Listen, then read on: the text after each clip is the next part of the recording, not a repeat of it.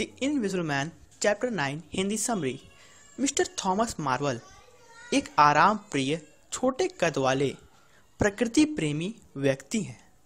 वह सड़क के किनारे यह निर्णय कर रहे थे कि कौन सा जूता पहनूं, तभी पीछे से आवाज़ आती है।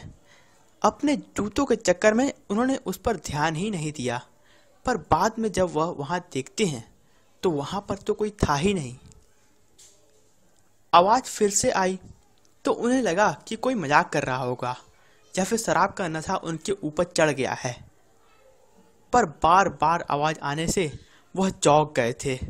अदृश्य आदमी ने पत्थर मारकर थॉमस को यकीन दिलाने की कोशिश की कि वह एक इंसान है।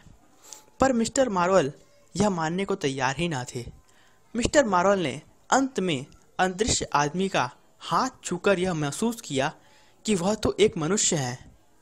तब अदृश्य आदमी ने मिस्टर मारोल से मदद मांगने की कोशिश की। यह सुनते ही मिस्टर मार्वल दुविधा में फंस गए कि यह, मैं इसकी मदद कैसे कर सकता हूँ? यह तो अदृश्य है तो मैं इसकी मदद कैसे करूँ? तब अदृश्य आदमी ने मार्वल को धमकाना शुरू कर दिया कि वह उसकी मदद करेगा। और यह भी बोला कि अगर उसने धोखा दिया तो ठीक ना होगा। अंत में मिस्टर मारोल को मानना ही पड़ता है। Please like and subscribe